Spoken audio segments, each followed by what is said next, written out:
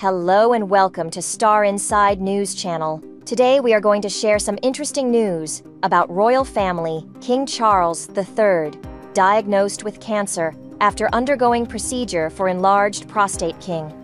Charles is beginning regular treatments for his cancer and will be postponing public-facing duties to focus on his health.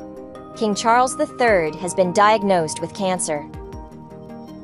Buckingham Palace broke the news about the 75-year-old monarch's health in a statement on Monday, February 5th. During the king's recent hospital procedure for benign prostate enlargement, a separate issue of concern was noted.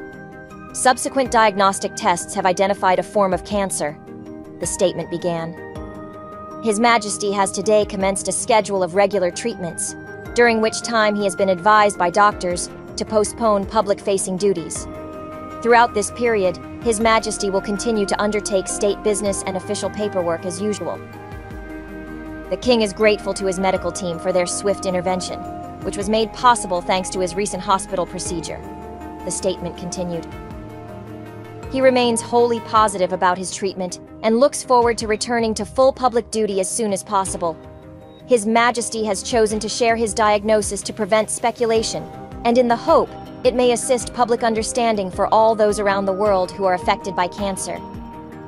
King Charles's cancer diagnosis comes after he underwent a procedure for an enlarged prostate in January. Buckingham Palace released a statement on January 17th announcing that Charles was going to be hospitalized for the surgery.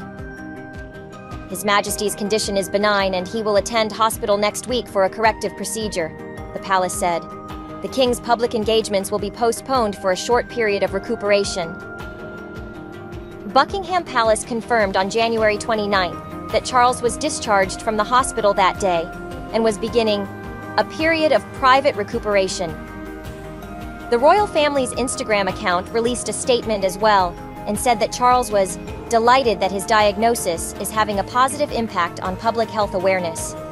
Charles's wife, Queen Camilla, 76, visited him at the hospital, and was by his side when he was discharged. Before Charles left the hospital to go home, a palace insider opened up about why the father of two decided to be candid about the health issues and disclose exactly what was going on.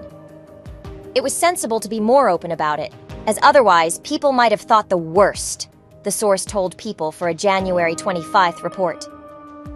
Charles's prostate health issues were revealed publicly the same day that Kensington Palace announced that his daughter-in-law, Kate Middleton, was hospitalized for a planned abdominal surgery. The palace later confirmed that Kate's surgery was successful and she was recovering. If you like the video kindly like, comment, share and subscribe.